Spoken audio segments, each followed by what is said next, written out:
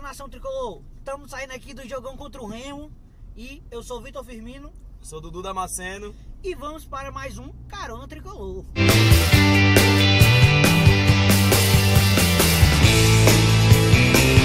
Fala galera, saindo aqui do estádio, mais uma vitória de Fortaleza, uma vitória diferente, classificado, tamo no mata-mata da Série C. Depois aí de muitos percalços na competição, conseguimos garantir a vaga desse jogo contra o Remo. Cara, primeiramente, Fernando Henrique, cala Chupa! a boca. Respeita, respeita. Goleirinho aí do Remo, muito respeito ao Remo e à sua torcida, irmãos aços, beleza?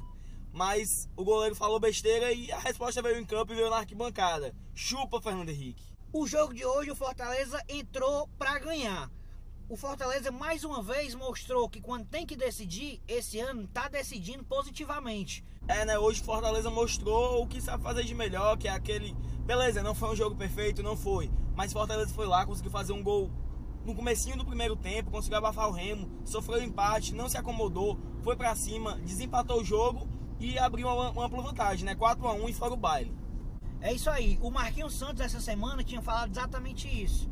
Que o Fortaleza tava pecando porque tava começando o jogo, no comecinho já tava levando gol. Dessa vez foi diferente. A gente fez o gol no começo.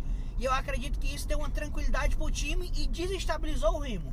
Além, além da tranquilidade pro time, deu uma tranquilidade pra torcida que, querendo ou não, já via esse jogo como uma decisão, que de fato era, e com aquele gol aos 3 minutos deu uma tranquilizada geral. Sofremos um empate realmente, mas também pouco tempo depois, Rodrigo Andrade jogou muita bola hoje, foi lá e conseguiu o desempate e deu aquela tranquilizada de novo no jogo. O jogo ficou bem parelho. O Remo, quando tava 2x1 Fortaleza, Fortaleza deu uma recuada. O Remo chegou aí pra cima, mas sem, nenhuma, sem nenhum grande abafa e nem nada. E o Fortaleza foi lá e conseguiu fazer mais dois gols e abriu 4x1, que foi o resultado final da partida.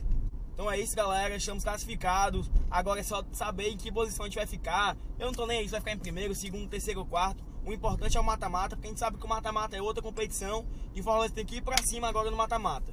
É, os jogadores, a mando do Marquinhos, tenho certeza, limparam os cartões amarelos. E isso é muito bom. A gente começa essa nova fase agora aí realmente limpo, né? Foi engraçado, né? Todos que estavam pendurados, todos sofre- é, levaram o terceiro amarelo e de forma proposital. E é uma coisa que eu sentia falta do Fortaleza nos outros anos, essa malícia. Tem que limpar mesmo os cartões, a gente não pode perder jogador decisivo no mata-mata. E eu queria mandar um recadinho, Anselmo, hoje, cara, foi por pouco, mas tu se garantiu, cara. A- as jogadas de- do gol que não saiu foram aquelas jogadas assim que, porra, foi azar mesmo, cara. Mas, ó, teu gol tá, tá guardado pro mata-mata. Fica tranquilo. Tomara, velho. E antes de terminar o vídeo, um recado, tá aqui a camisa, viu? Do Vitor. É, ó. E quem quiser mandar outra, pode mandar aí. Aquela Cara, de essa, essa aqui teve que vir da década de 2000, pra, né? Porque hoje em dia não fazem mais camisa grande. Alô, Pra diretoria, diretoria, manda uma camisa aqui pro Vitor, porra. Camisa não é só pra ex-diretor, não, viu, pô? Então, galera, esse aqui foi mais um Carona Tricolor. Sou Duda Maceno. Vitor Firmino. E até a próxima. Valeu. Valeu.